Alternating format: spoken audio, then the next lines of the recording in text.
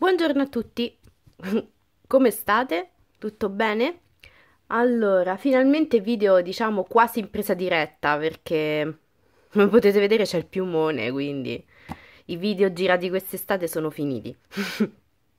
Dunque, in realtà non vedevo l'ora di parlarvi di questo romanzo perché voi sapete che io sono appassionata di thriller e so che mh, tra voi che mi seguite ci sono altrettanti appassionati del genere, quindi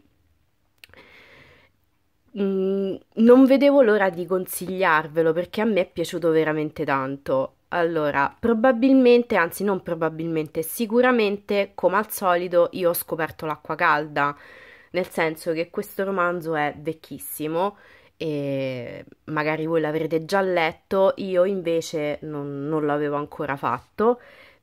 Ci hanno tratto un film che non ho visto, quindi tanto per cambiare, insomma, io mi distingo in questo. io e i film diciamo che stiamo cercando di migliorare il nostro rapporto, siamo in pausa riflessione, stiamo riflettendo sul da farsi. Vabbè, questo non, non è molto importante. Però lo stesso, se ci fosse fra voi qualcuno che ancora non l'ha letto, insomma, carissimo o carissima, secondo me faresti una gran cosa a leggertelo. Allora, come potete vedere, il senso di Smilla per la neve L'autore ve lo leggete da soli perché non sono in grado, hug, hug, non lo so come si dice. Eh, Oscar Mondadori e questo qui, come potete vedere dal talloncino lassù, 5,90 euro, quindi si risparmia anche. Le pagine, le pagine sono... Mm-hmm. Metti a fuoco. Vabbè, sono 480, mm, vi fidate? Eccolo, ce l'ha fatta. 480. Devo dire che 480 pagine non è che sia grandissimo, una mole insormontabile, però per come è fatto il romanzo, devo dire che 480 pagine belle pregne di avvenimenti e cose cose particolari, strane, indizi vari, non uno in ogni riga, ma quasi uno in ogni pagina, quindi io l'impressione che mi ha dato a me quando ho letto l'ultima pagina è che avessi, mh, è, era come se non avessi letto un romanzo di 480 pagine, ma di 600, perché era pieno di roba, pieno zeppo di roba.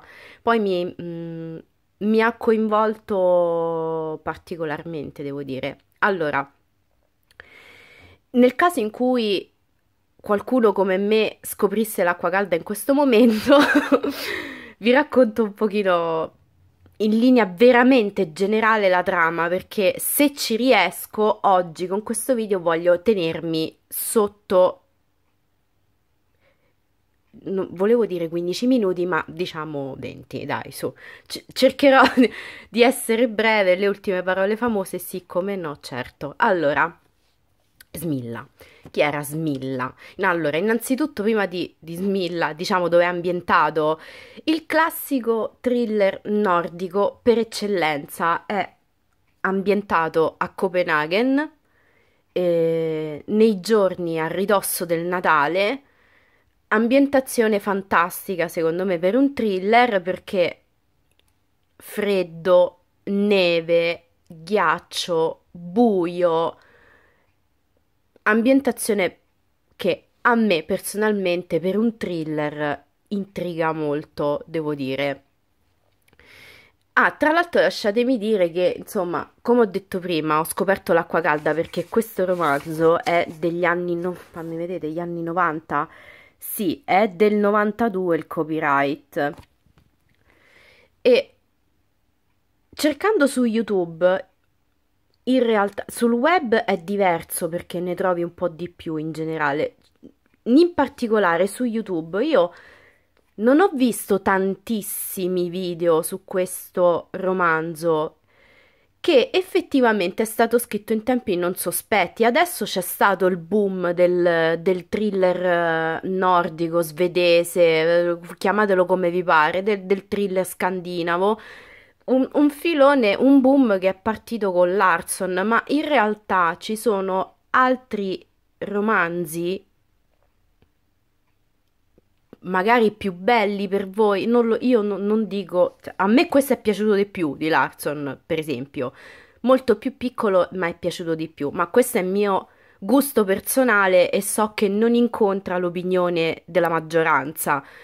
Però. Ecco, questo è stato scritto in tempi non sospetti ed è un bellissimo romanzo creato molto prima del boom del thriller eh, nordico, quindi vale la pena leggerlo perché ci aveva visto lungo, insomma, l'autore, aveva capito che questo era un, un qualcosa, un'ambientazione che poteva piacere al pubblico, infatti oggi si vedono gialli thriller nordici dovunque, se voi cercate su YouTube video ne trovate a bizzeffe, ma questo qui non ce ne sono tantissimi, perlomeno non mi è sembrato di vederne tanti.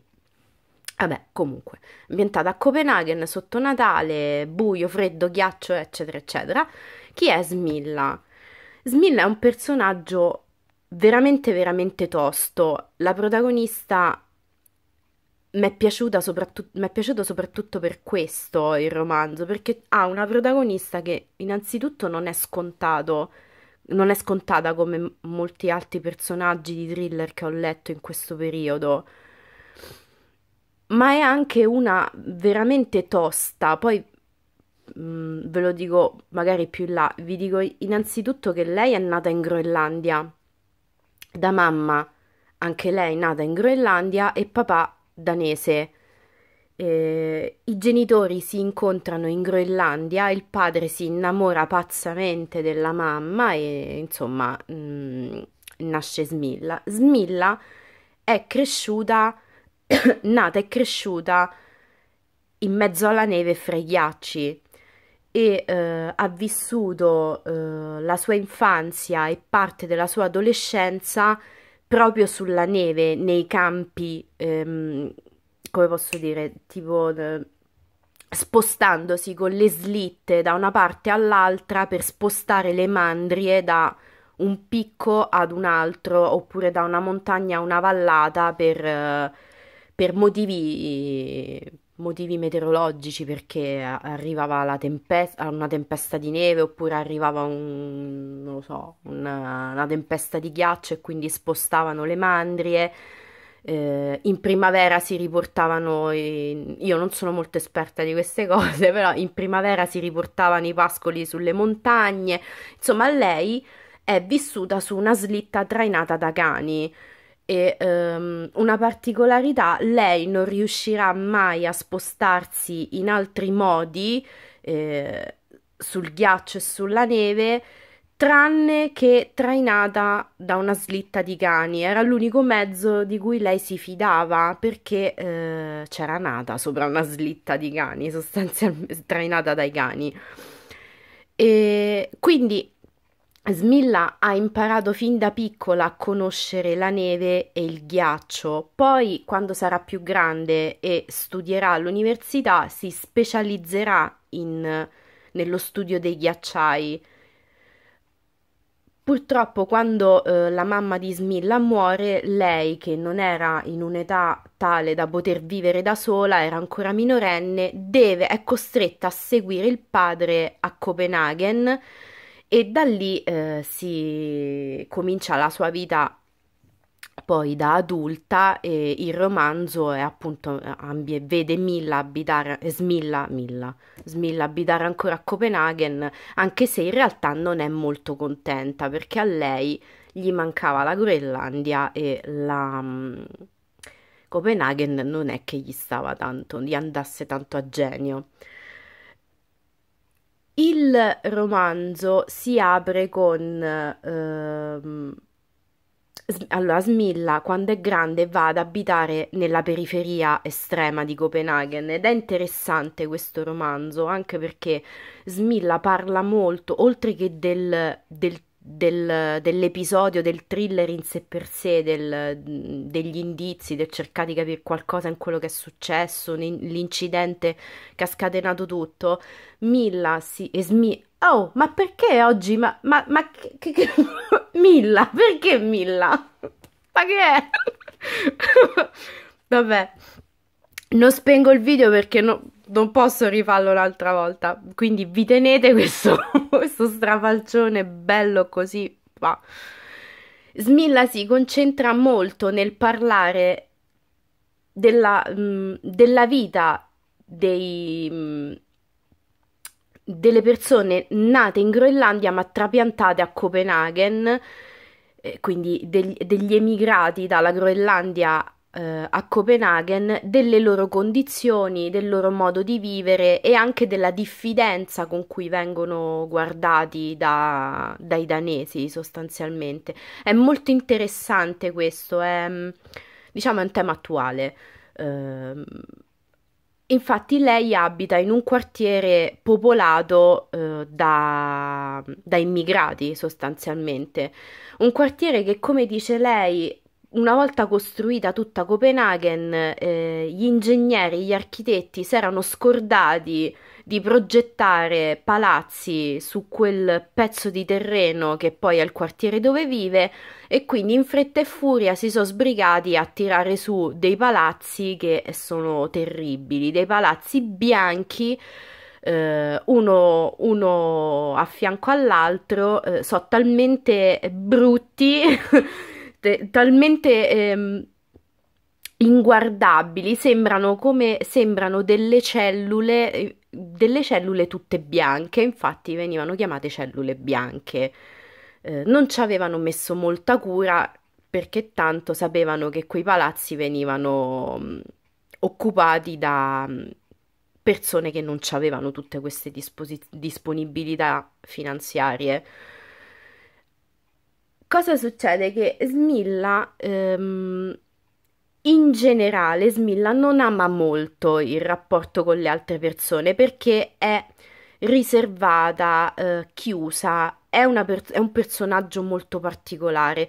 L'unica persona a cui si è affezionata è un bambino che abita nel suo palazzo insieme alla mamma.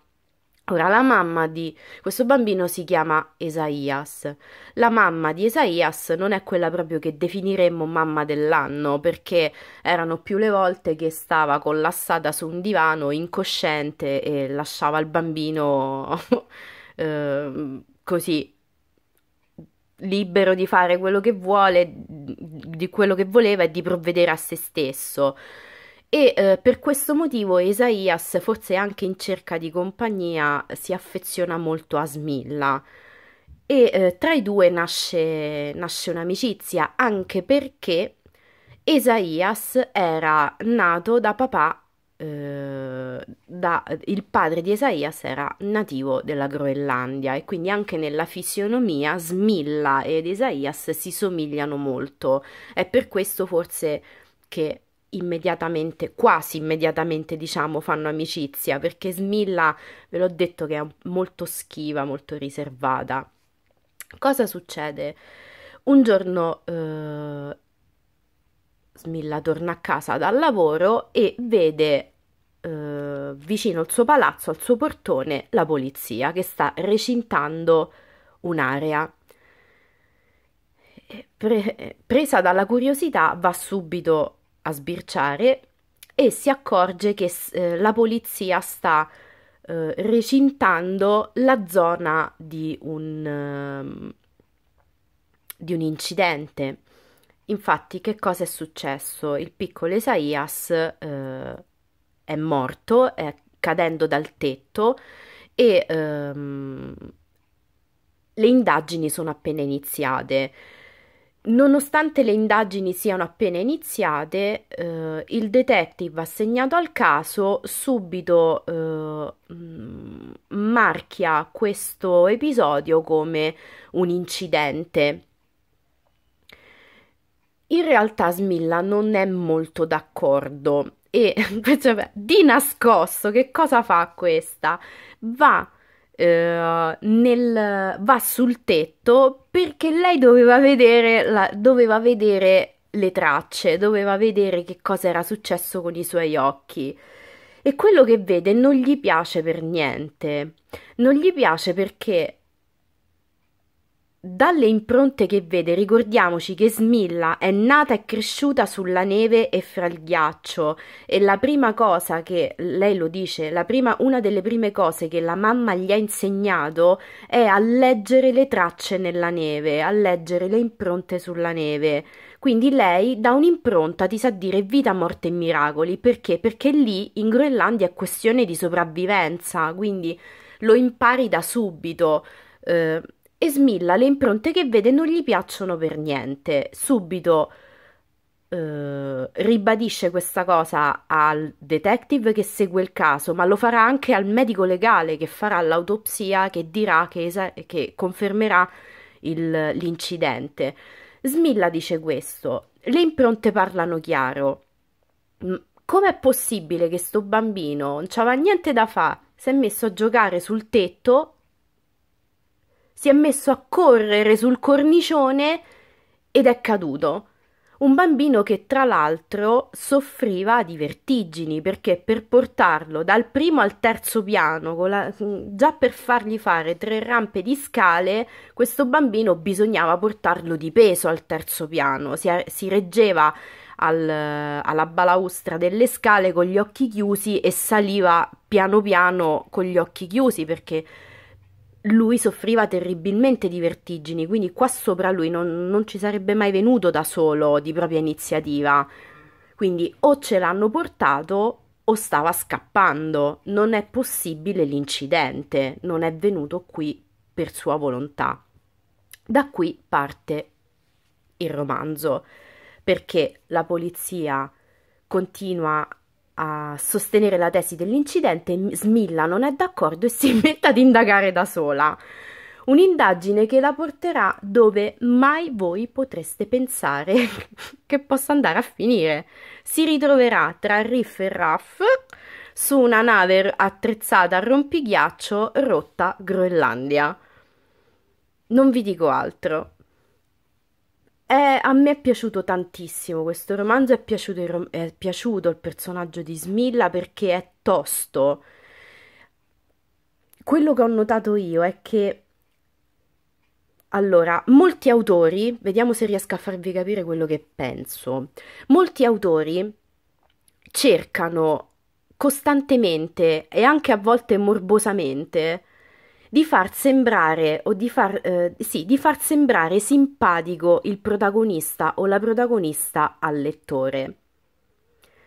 E voi dire, potreste dire, è eh certo, perché se no il romanzo col cavolo che riesce a leggerlo in un determinato modo. E io vi dico, no, esiste la prova contraria. Smilla non è un personaggio che aspira alla simpatia del lettore perché lei è diretta, lei anche vo- quando, quando si pone ad altri personaggi che incontrerà nella sua indagine, quando fa delle domande, fa delle richieste o, o eh, parla semplicemente con qualcuno, lei si pone in un modo tosto, quasi strafottente. A lei non interessa risultare simpatica perché lei lei non vuole la tua amicizia, lei sta bene da sola, lei basta a se stessa. Quindi è un personaggio stranissimo, ma secondo me molto interessante perché all'autore non gliene è fregato niente di fartelo risultare simpatico.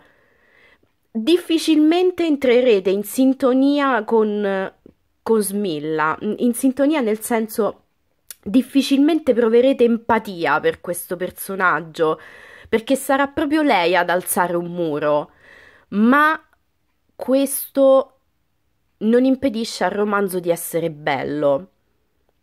Ora, io so che avendovi detto questo, molte persone non lo leggeranno perché ci sono giustamente, o, o noi lettori siamo tutti diversi uno dall'altro ci sono persone che se non entrano in sintonia con il personaggio principale dalla prima pagina non riescono a portare a termine un romanzo. È vero, è stato così anche per me con dei romanzi passati. Infatti questo, diciamo che la regola generale per me potrebbe essere quella, ma ad ogni regola c'è l'eccezione, questa è stata l'eccezione. Quando io ho cominciato a leggerlo e al, alle prime 50 pagine ho visto che non riuscivo a, non, non riusciva a starmi simpatica, smilla, ci ho avuto un attimo di... insomma, eh, ho barcollato un attimo, però devo dire che ho tenuto duro, ho fatto bene perché il romanzo merita di essere letto e be- a me è piaciuto tantissimo. E quindi non lasciatevi fregare da questa cosa, provateci. Io vi avverto, in alcuni punti ci sono delle descrizioni mm, abbastanza non impegnative, perché niente è impegnativo sostanzialmente. Cioè, non stiamo a parlare di un trattato di astronomia, stiamo parlando di un thriller. Però ecco, per chi non ama le descrizioni, anche qui deve tenere duro. Se ce l'ho fatta io, ce la fate anche voi. Però sappiate che queste descrizioni vi servono tutte, perché altrimenti non capireste il finale. E ad ogni pagina c'è un indizio, quindi non vi distraete. Non vi distraete, veramente. Ci sono uh, indizi che riportano al passato, eh, indizi ovviamente che riguardano il presente, quindi il caso del, della morte del bambino, ma ci sono anche indizi che porteranno Smilla a scavare in un passato poco limpido, diciamo. Io non so che altro dire. Cerco di starmi zitta perché sento che lo spoiler è in punta di lingua e non vorrei rovinare la festa a qualcuno. Comunque, L'autore, a me è piaciuto come scrive Peter Roeg. Linguaggio semplice, niente ghirigori. Questo è, è, è, è, mm, come posso dire?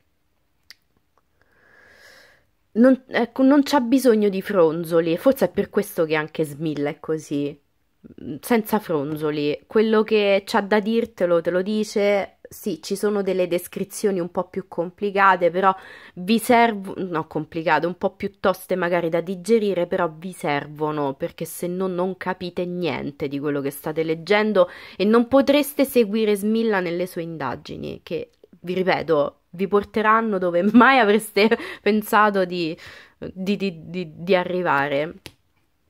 Non lo indovinerete mai il finale, mai. Cioè, io vi sfido, magari chi l'ha letto se l'aveva capito. Io non l'avevo capito. e secondo me è difficile da capire. Va bene. Allora, ho mantenuto la mia promessa, il mio proposito, eh, non la promessa, non era una promessa. il mio proposito è stato rispettato, sto sotto i 30 minuti anche perché eh, così il caricamento ci mette un pochino di meno per andare a buon fine. Niente, io vi saluto e... Mm, viva i thriller, insomma. E... Mm, se voi l'avete letto fatemi sapere com'è. Se avete letto qualcosa di simile o comunque se ultimamente avete scoperto dei thriller particolari o dei romanzi noir, voi sapete che a me piacciono, è uno dei generi che a me interessa sono alla ricerca di un noir bello tosto. Quindi, se qualcuno di voi ha letto un noir bello tosto, è pregato di gentilmente di lasciare due righe qui sotto e io lo apprezzerò con, tanto, con tanta felicità. Ma deve essere tosto, eh? Perché sì, deve essere ogni tanto io me, me lo concedo uno di sti libri così tosti e gagliardi, nel senso che devo prendermi le pause per digerirlo. Va bene. Vi saluto buona settimana anche se la settimana è a metà. E niente, ci sentiamo presto. Vediamo che riuscirò a combinare con il prossimo video dopo questo. Vediamo, non lo so. Ciao.